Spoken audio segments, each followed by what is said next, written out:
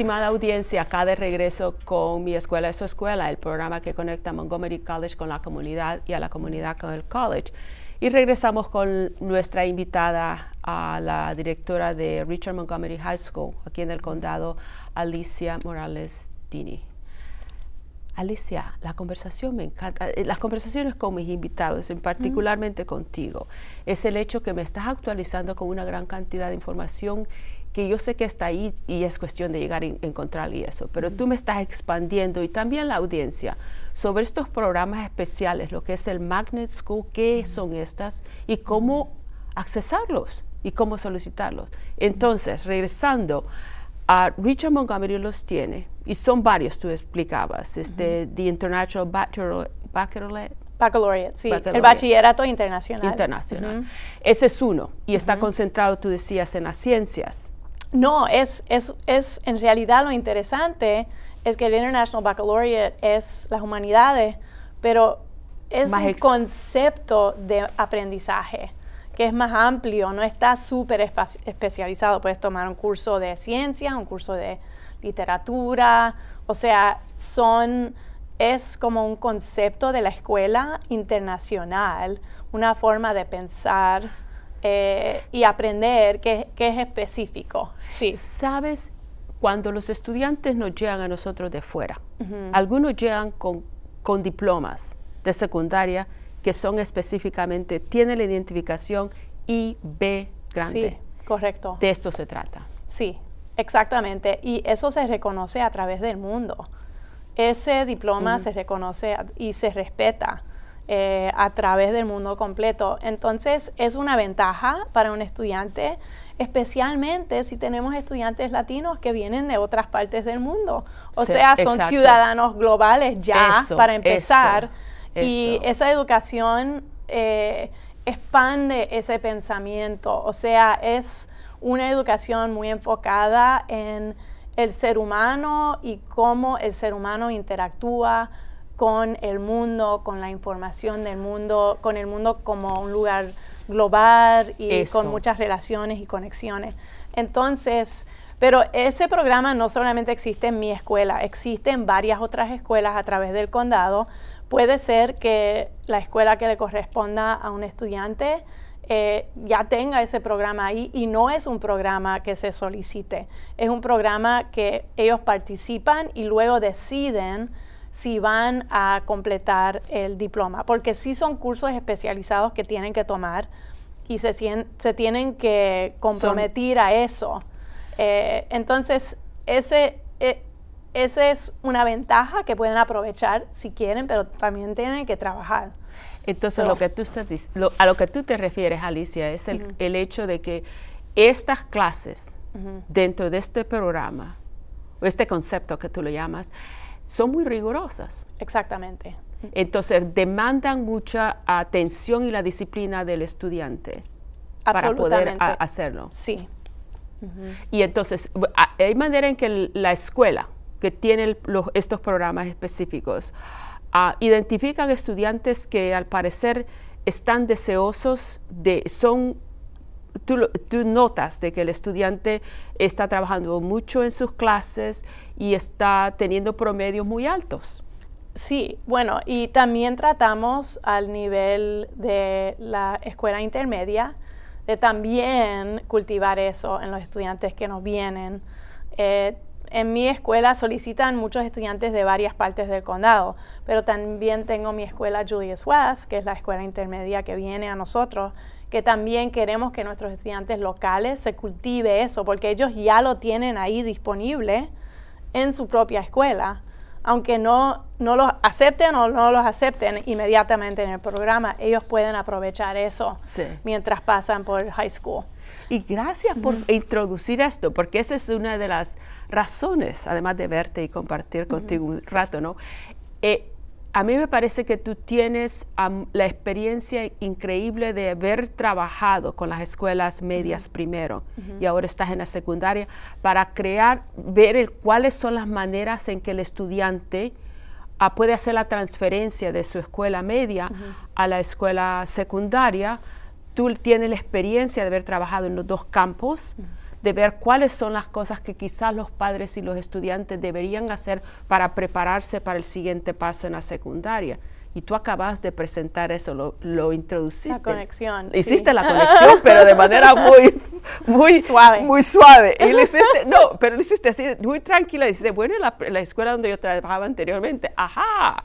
De eso, sabes, de que la comunidad y los padres, sabes, cuando uno llega de fuera de los Estados Unidos, no conocemos el sistema nuestro acá en los Estados Unidos. Entonces, los padres, y ves, si no hay la facilidad del idioma, eso también se presenta como una barrera. Y los padres sienten incómodos y dicen, a mí me gustaría ayudar a mi hijo o mi hija, pero yo no sé exactamente de qué manera puedo ayudarles. Y entonces se sienten frustrados, ¿no? Entonces, en el caso tuyo, y gracias, Alicia.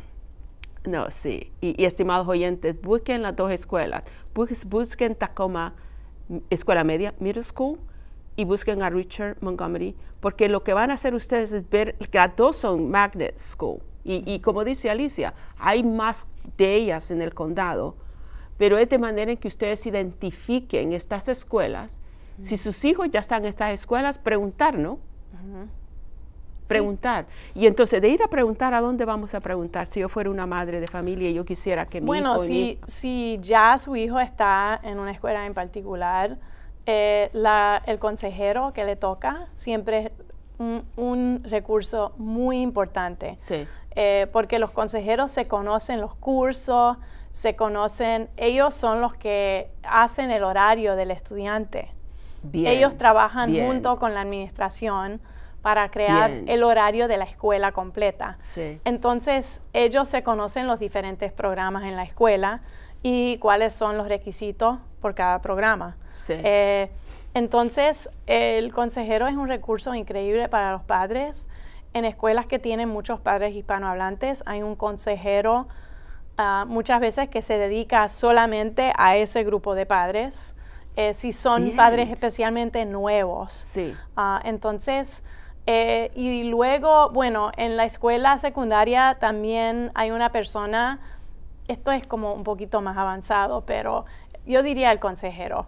Sí. Eh, pero también para los que se están poniendo en el grado 11 o 12 está eh, el College and Career Coordinator. Hay una posición que se dedica a ayudar a los estudiantes con programas después de la escuela eh, secundaria, para prepararlos para la universidad, para prepararlos para alguna carrera. Pero el consejero es una persona súper importante que conozcan si tienen preguntas. Oyentes, por favor, padres de familia, audiencia, lo que nos ah, presenta a la directora Dini es el hecho de que hay recursos y hay personal bilingüe en las escuelas. Por favor, búsquenlos, no tenga pena de preguntar. A nosotros muchas veces esa pena los impide poder encontrar nuestro rumbo y, y, ayudarles a nuestras familias. Por favor, háganlo. En las escuelas que atienden sus hijos, hablen con la maestra, los consejeros, díganle a sus chicos de que pregunten y ustedes pregunten. Ah, algo más a decirles, por favor no se pierdan estas reuniones de padres que las escuelas tienen. por favor háganlo. Yo sé que ustedes muchas veces trabajan diferentes horarios y eso, háganlo. Esa es la mejor manera de, de ayudar a sus hijos y ayudarse ustedes también. Gracias, Alicia. Sí, eso de, decir de que tenemos recursos en las escuelas, aquí nosotros con el college también tenemos personal que está para asistir a, los estudiantes. Y nosotros constantemente le estamos diciendo a los padres de familias y a los estudiantes, por favor, trabajen muy de cerca con la consejera académica. Por favor, háganlo, porque si algo, alguien les va a ayudar a corregir o a encontrar la asistencia que ellos necesitan, son ellos, ¿no? Y estamos todos alrededor, porque te digo, si tú me refieres a alguien, yo veo, si no tengo la respuesta y, qué puedo ayudarle a, la persona o al estudiante, yo encuentro aquí a dónde referirle y cómo hacer las conexiones. Gracias por eso, porque prácticamente es lo que todos nosotros necesitamos, a, Alicia, encontrar la referencia a dónde y cuándo y cómo hacerlo. En el caso del estudiante en la escuela media, entonces el estudiante ya, ¿cuándo tú crees? Y eso es algo y, que nosotros estamos, que nos gustaría obtener más información al respecto.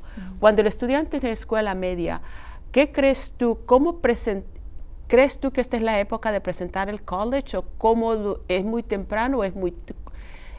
nosotros quisiéramos hacerlo de manera ah, más fácil. Y, eh, tú sabes, college es college, ¿ves? Este, pero cuando ¿Tú crees en qué grado sería conveniente? Porque los padres muchas veces dicen, oh no, pero ¿cómo voy a estar hablando yo de, la universidad ahora? Bueno, eh, lo interesante es que sí, claro, se puede empezar a hablar a cualquier edad con el estudiante sobre la posibilidad eh, proyectar algo positivo en el futuro de cualquier niño, ¿verdad? Sí. Eh, yo en, la escuela intermedia, en el condado de Montgomery, ahí ya se empiezan a tomar cursos de la escuela secundaria. O sea, hay cursos, si un estudiante toma álgebra o geometría, esos son créditos para la, secundaria que le cuentan para su diploma. Lo mismo con los cursos de idiomas como español, francés, cualquier otro idioma que tengan en su escuela, es, esos son créditos. O sea que ya en el sexto grado, yo tengo un hijo que ya en el sexto grado ya tenía un crédito para su diploma porque tomó español 1. Hay muchos niños así que pueden hacer eso. O sea que ya se empieza el proceso. También los estudiantes en la escuela intermedia completan, empiezan a tener conversaciones con los consejeros sobre pensando en su carrera, pensando en la universidad. Se presenta ese concepto ya a esa edad.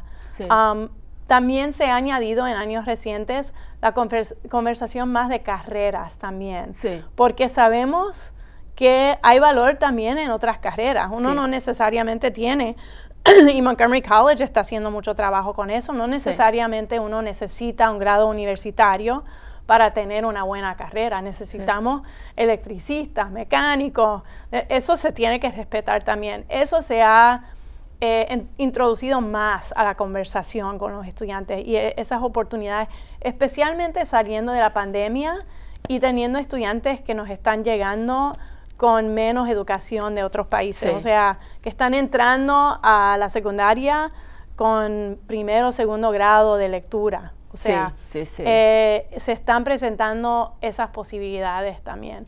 Pero en la escuela intermedia es muy importante enfocarse con los estudiantes en la lectura, en las destrezas de estudio, eh, desarrollar su rutina como estudiante, que hacen su tarea cuando llegan de la casa, que el padre está encima y o sea, eso es lo que se tiene eh, que enfocar. Y también es, no, no quiero decir esto de una forma que se suene, mal. Es bueno que el estudiante de la escuela, intermedia tenga la experiencia de tener que pelear un poco para esa nota. O sea, que se empuje un poco, porque a esa edad no hay tanta consecuencia. En la escuela superior hay la consecuencia de las notas bajas y después solicitan a la universidad y no tienen las notas tan buenas. O sea, es una época muy buena para el desarrollo del estudiante. El hábito de estudiar. Se nos está yendo el tiempo, Alicia. ¿Qué mensaje tú quisieras que la comunidad recuerde, los padres de familia? Eh, bueno, tengo, tengo dos mensajes. El, primo, mm, el primero es que aprovechen lo que tienen en las escuelas. hay mucho que tienen disponible, tienen que aprovechar. Eh, y han trabajado duro nuestros padres para llegar aquí. Cierto. Y los estudiantes, yo les digo que se tienen que aprovechar, porque están aquí, sus padres han peleado para estar aquí. Eh, y tienen que no tener miedo de hablar con esa persona, no ser tímidos, tienen que no tener pena, eh, tienen que meterse un poquito más eh, en la escuela. Vengan a las reuniones, hagan preguntas, no, no se sientan mal. Si reciben una respuesta que no les guste, vayan a otra persona en esa escuela hasta que consigan la información que necesiten. No se den por vencidos porque han trabajado tan duro para llegar aquí que, que aprovecharlo. la, próxima parte del camino es la escuela y la, la educación. Mil gracias, Alicia. Te agradezco tu tiempo y gracias por toda la información muy valiosa. Estimados oyentes, recuérdense que Montgomery College está aquí para ayudarles acérquense 240-567-5000 y recuérdense también de conectarse con las escuelas donde trabaja nuestra colega Alicia Dini, a Richard Montgomery High School. Busquen la ayuda, la educación es la mejor herencia. Cuídense y hasta la próxima. Gracias por la atención.